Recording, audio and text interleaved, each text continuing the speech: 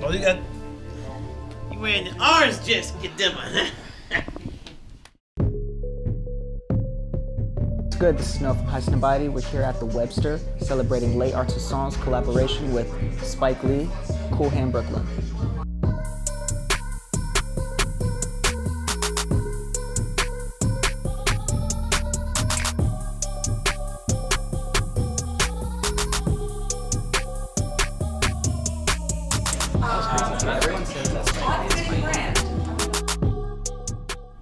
What's good, guys? This is Noah from High Snobiety. We are here at the Webster with the legendary Spike Lee. How are you? You're being too kind. I'm fine. How you doing? Cool. Glad you're here for the launch of the Daytona Rolex Cool Hand Brooklyn joint.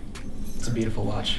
Thank you, thank you. I've uh, I've been into Paul Newman Daytonas for a minute. First time I got one was when uh, I was in Paris, I was going to Cannes.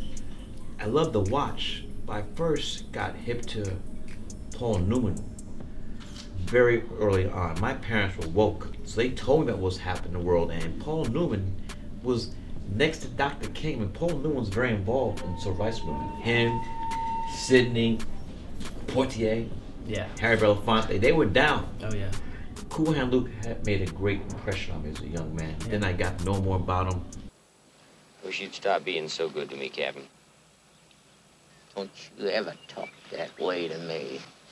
Never! Never! So, when I met my man John Isaac Yeah. on a humbug at the Apple store, and he asked me, did I want to do this collaboration automatically? Because he said Rolex, but it could be any Rolex watch. Yeah, of course. But I was like, nah, it's gotta be a That one. Paul Newman Daytona. So that's how it happened. It's a crazy story. And, and also, I like to say, Rolex is more than a watch. When you wear a Rolex, you're wearing a piece of art Very true. on your wrists. I'm left-handed, so I wear it my right Okay. wrist. So I'm just blessed. So I'm just happy, and I hope that people uh, get as much joy out of, this, of, of, of, of wearing this watch as I will. So obviously, it's uh, it's orange, it's blue. The design process was very easy, I'm sure.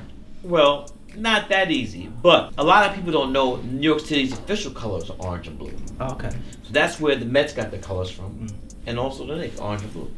But this watch fits so perfect with me, sitting courtside Yeah. at the world's most famous arena with my orange and blue Paul Newman Daytona Cool Hand Brooklyn joint, Yeah. and we got Porzingis too. Jeez. but again, I'm happy that you were able to interview me tonight. Spread the word. Of course. Only 40 being made.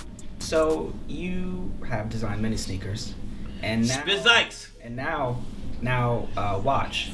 Do you see yourself going further? If you know the. Well, right here's the thing, though. hits you up. These are things, opportunities that that, that come to me. It's not like Got you. I'm no. I'm gonna. I was. Well, wait a minute. That's not true. I was after Mike for a while. Mike, I need my own sneaker. Yeah. Thank God. In fact, this February, the NBA All Star Week will be in Los Angeles. Will be in Los Angeles. Yeah. And it'll be the 30th anniversary. 30 years ago will be the anniversary of the first Mike and Spike Wow. Jordan commercial. 30 years. That's a long time, man. That's three decades.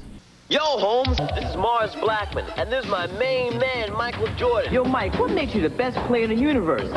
Is it the shoes? You have a lot of anniversaries right now. You've got the. Yeah, we just X. had we just had Malcolm X. We're very Congratulations on that, by the way. thank you. We're very happy about how people received. She's got a hat. Oh, yeah. It it, it, it it blew up. I was hopeful it would do well, but the response we've got is like way beyond. But what would you expect? Look, I don't take anything for granted. Yeah, that's true. So you don't know how black folks be acting funny sometimes. Ah. So you don't know. And when, let me tell you, when Black Twitter gets on your ass, they get on your That's ass. real. I mean, it came out in '86. It's 2017. The, Oh, she's the- gonna have it, yeah. And the response is incredible. Incredible. Same with uh, you know, Malcolm X came out back in '92. Thank you. 25 years. 2017, those two films are super relevant. Is that exciting or a bit concerning? No, here's the thing though. And, and the way you just phrased that question is truthful. It's exciting because the work is the work's still relevant. It's sad because it was relevant. That means that not shit much has changed. Exactly. So it's it's a double edged sword. Hmm. Thank you, man. All right, man. Bet. Love. Cool, cool.